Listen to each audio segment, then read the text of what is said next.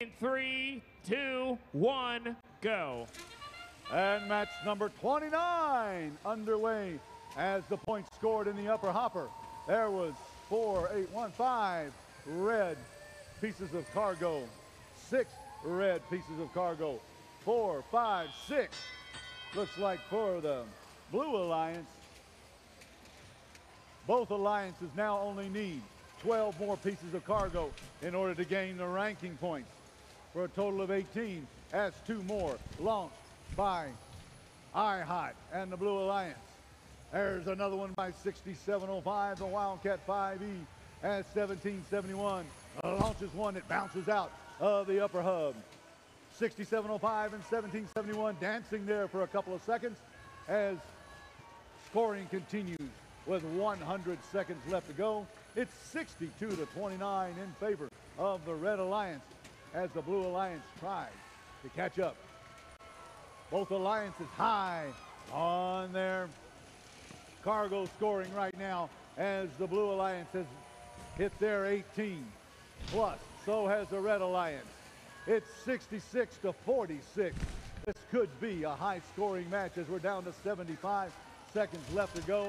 The cargo continues to be loaded fast. A lot of dancing on the field as the North Gwinnett Robotics team scores two more high from the red tarmac. 88-66 danced around with 87-36.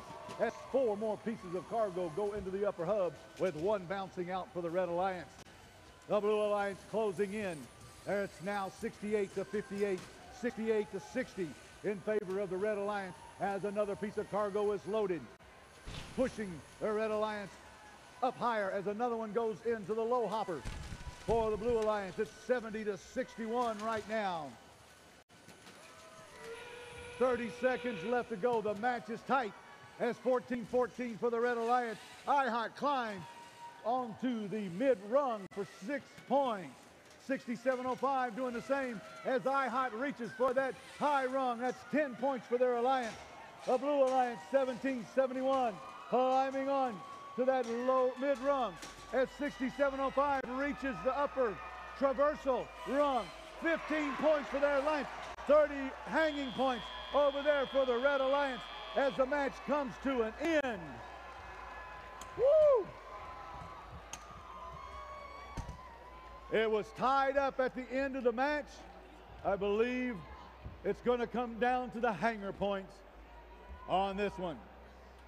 The Red Alliance with two bots on the upper traversal rung would get credited for more than 16 points, giving them an additional ranking point for their teams on that alliance.